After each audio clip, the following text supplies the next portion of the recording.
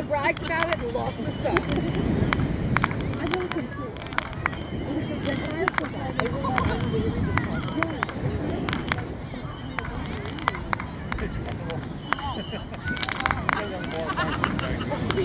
Chase, are we